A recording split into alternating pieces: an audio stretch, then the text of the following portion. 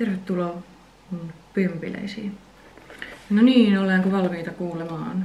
Mielenkiintoinen katsaus menneisyyteen. Nimittäin kymmenen vuoden taakse, jolloin alkoi elämääni mullistava, mullistava kokemus nimeltänsä vuosivaihto Amerikassa. Tänään mä luen sulle nyt tämän kolme ensimmäistä päivää, mitä silloin kävi. Kymmenen vuotta sitten, juuri näinä päivinä. 6.8.2012, maanantai day one, vuosivaihto Amerikassa. Seikkailu alkakoon. Aamulla oli aika lähteä kohti suurta seikkailua. Kuitenkin ennen sitä sain vielä kunnon suomalaisen aamupalan. Kaksi Karjalan piirakkaa munavoilla mustikkapiirakkaa äitin tekemään. Suomesta lensimme suoralla lennolla New York Cityin, noin 50 muun nuoren ja kahden valvojan kautta kirjeenvaihtajan kanssa. Meillä oli koulutusta puolisen tuntia. Loppuilta meni uusien kavereiden kanssa Manhattanin kaduilla seikkaillen. Hotellimme on surkea, mutta sijainnin vuoksi upea. Vastapäätä Madison Square Gardenia ja ihan Empire State Buildingin vieressä.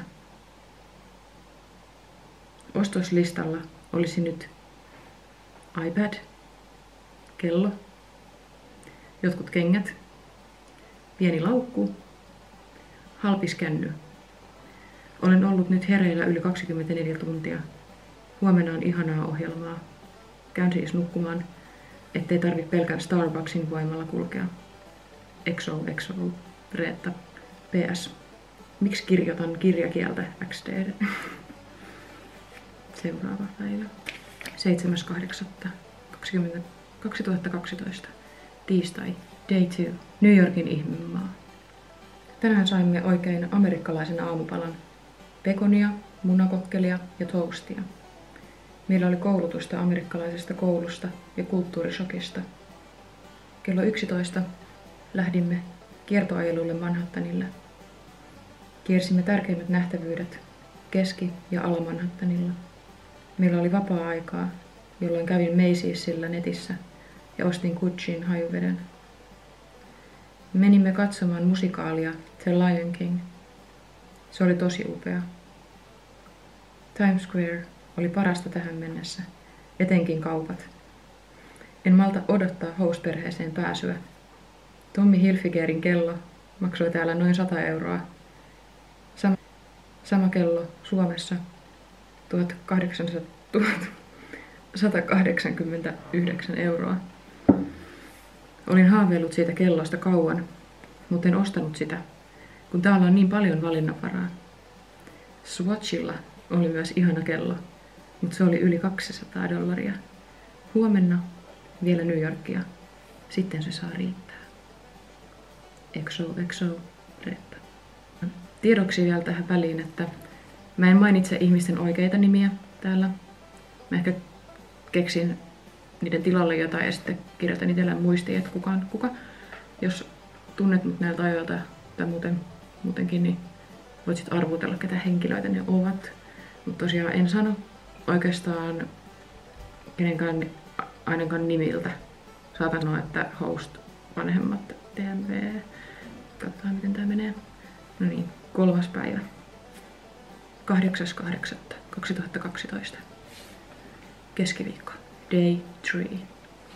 Vika-ilta Nykissä. Heräsimme aikaisin aamulla. Ensin mentiin aamupalalle. Aamupalalle. Sen jälkeen oli vapaa-aikaa kello 16 asti. Vapaa-ajalla ensin menimme Empire State Buildingiin. Siellä oli upeat näkymät. Hieman sumuista, mutta muuten aika hyvin näkyi koko mahtava nyki. Alas tultuamme lähdimme Fifth Avenuetä pitkin Central Parkiin. Fifth Avenuella tuli so- shoppailtua suht paljon. Guessillä, Hollisterilla, JNE. Central Parkista lähdimme Times Squarelle. Siellä taas shoppailtiin YMS. Oli tosi kuuma. Ehdimme hyvin, hyvissä ajoin koulutukseen, huolimatta siitä, kun olimme ihan hukassa. Kun halusin vielä käydä Gessillä ostamassa kaulakorun, piti vähän hemmotella itseä sen Swarovski-tragedian jälkeen. Koulutuksen jälkeen laittauduimme iltaa varten. Lähdimme kolmen ison valkoisen hummerilimusiinin kanssa Times Squarelle illalliselle. Mustiin limusiinin kattoikkunasta katsomaan Times Squarea. Nyt ollaan täällä hotellilla. Huomenna pitää herätä kello kolme. Syracuseissa olen noin kello kymmenen aamulla – Ihan kuin olisi viime päivät ollut jostain leffasta. Eikö ole, eikö se ole, Tässä on tämä ensimmäinen pätkä. Katsotaan tuleeko jatkoa. Jos tulee, niin seuraavassa osassa sitten kuulla, että miten mulla meni se ensimmäiseen host-perheeseen asettuminen ja matka sinne kaupunkiin, jossa minä vaihtovuoteni vietiin. Mä en ole itse lukenut tätä mitenkään tarkasti sen jälkeen. Mä oon katsonut ihan muutaman, että voiko tätä ylipäätään edes lukea. Ja musta tuntuu, että on aika kiva. Tai vähän niin kuin reagointia, mutta myös muistelua ja sitten lukemista. Like if you like. Comment if you have something to comment. Thank you for. Kiitos seurasta.